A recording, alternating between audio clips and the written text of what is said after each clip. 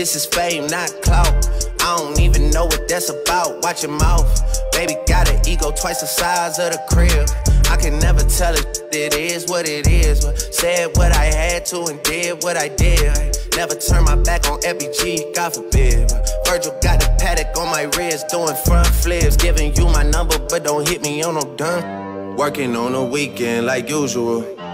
Way off in the deep end like usual. Swear they passed us, they doing too much. Haven't done my taxes, I'm too turned up. Virgil got a paddock on my wrist going nuts. Caught me slipping once, okay, so what? Someone hit your block up, I tell you if it was us. Man, a house in Rosewood, it too plush. It's cool, man. Got red bottoms on. So, I don't know how to say this, but I've been called many things my entire life. But I've never been called a monkey until now.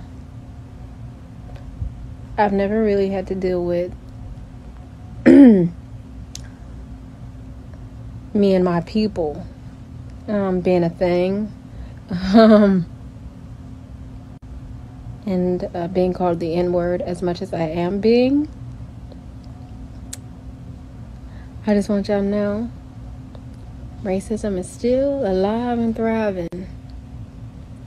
Yeah.